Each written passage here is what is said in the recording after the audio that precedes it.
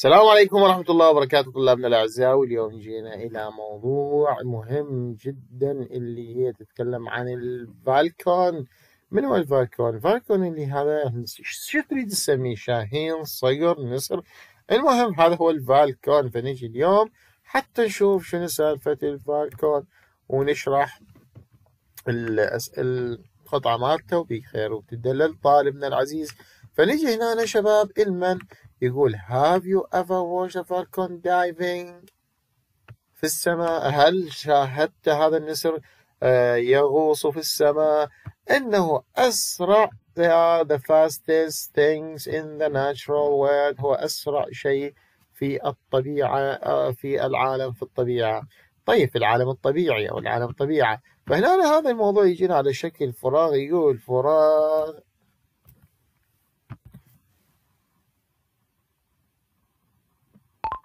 is the fastest things in the natural world.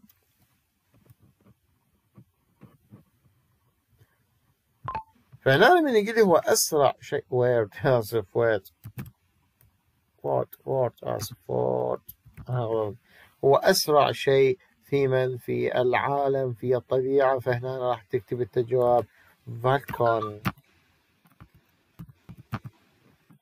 فالكون أوكي خلينا نجي نشوف شنو سالفة الفالكون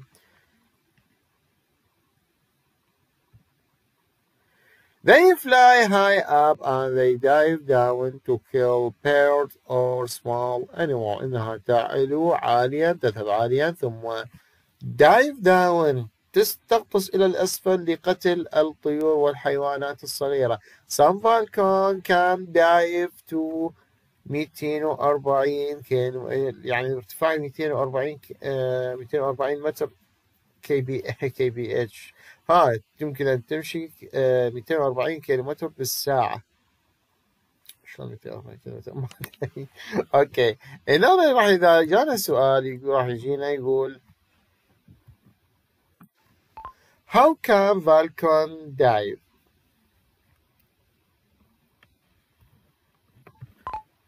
ليش هذا آسف يجوز أنا قرأته غلط how long can Falcon dive فهنا إيش راح تكتب تكتب 240 kph okay طيب هاي خلصنا لا مو خلصنا كان بعد يقول الناس لمدة آلاف من السنين uh, people الناس from desert of Arabia they Bedouin. البدو فهنا عندنا سؤال مهم جدا يجينا الطلاب who are من هم the Bedouin من هم البدو؟ Bedouin دقيقة. نعم من هم البدو؟ البدو هم people هم ناس from the desert. ناس من الصحراء. أوكي. يستواج كانوا يراقبون الفالكون تمسك الطيور من أجل الطعام والبدو عاشوا في الغالب على التمر والحليب والخبز. السؤال اللي يجي على هذا الموضوع. Bedouin lived mostly on date, milk, بريد هذين الكلمات الثلاثة. لا لا لا لا لا فراغ فراغ. ليش ما هني فارزة نعم فراغ. أنت فراغ. شلون؟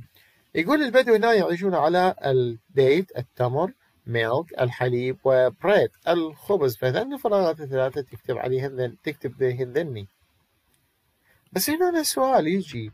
Why شنو هو الواي why do Bedouin live on date milk and bread?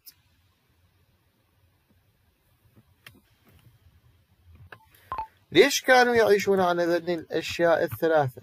بدوين مو بدوين بدوين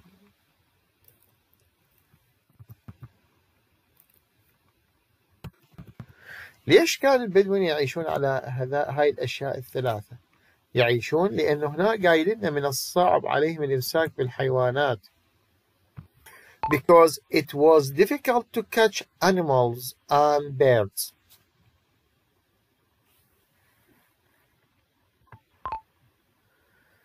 إيش صار؟ بدأوا يتعلمون إمساك النسور وقريبا البدو بدأوا يأكلون لحوم.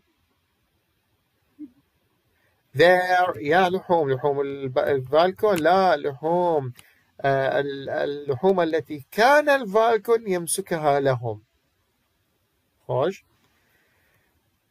Favorite bird وأفضل الطيور التي كانوا يحبونها هو يصيحوا له large long legged حبارة. فهنا يجينا السؤال شو يقول السؤال؟ يقول what was the favorite bird for the Bedouin? هم قال بيجوين بدوين أوكي هنقدر أحسن. بدوين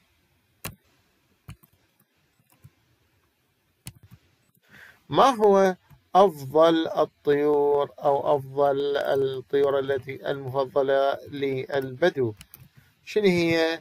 هي كالآتي اللي هي large long leg حبارة.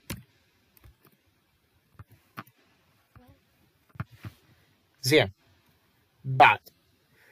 Cooked over fire and tested المهم يطبخونها ويأكلونها والبدو used to hunt on camel. هاي قبل قبل ما كان عندهم شو اسمه الشاهين وهذا النسر. شلون قبل كانوا يصيدون؟ السؤال هو how did Bedouin used to hunt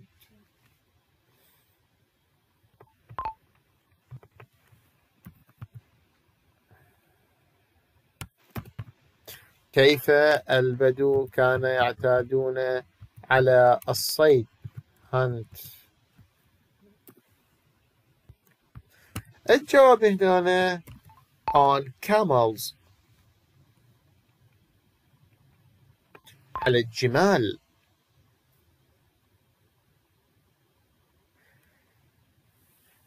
يقول الآن فالكون أن الفالكنري عملية تربية الصقور هي سبورت رياضة.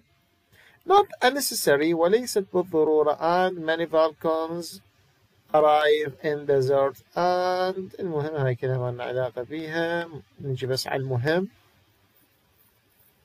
المقطع اللي يأتون الناس إلى وادي المثنى ذالي إلى أودية المثنى وسامراء وذي قار. In Iraq في العراق in air conditioned air conditioned في في يعني يجون في سيارات رباعية الدفع مكيفة يستعملون النسور لكن عندنا disadvantage مضار. شنو مضار؟ تعالوا هنا أكيد راح يجينا سؤال. What are the disadvantage of the sport of falconry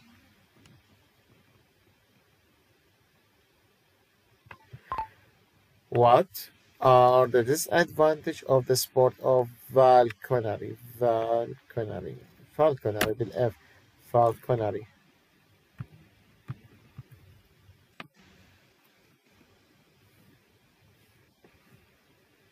نعم ما هي المضار من عملية تربية النسور المضار مالتها يقول too many rare birds might be killed too many rare bears might be killed ما ما عندي مكان نكتب لي آسف too many rare bears might be killed العديد من الطيور النادرة قد تقتل لأن هذا النسر اللي يصيد ما يعرف انه هذا نادر او ما نادر يريد ياكل زين If nothing was done about this there will إلى آخره الحكومات has set a protected area of birds الحكومات قامت بعمل محميات للطيور People cannot hunt والناس لا يستطيعون الصيد هناك They are safe area يوجد منطقة آمنة للطيور are also good habitat إلى آخره وفيها مساكن جيدة للحيوانات As a result نتيجة لذلك wildlife numbers have gone up.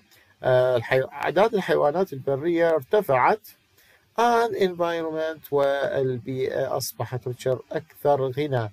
إذا هنا هاي القطعة وهاي الأسئلة اللي تجي عليها طلبنا الأعزاء. رج... آه... انتبهوا على هاي الأسئلة ريت تسجلوها يومكم.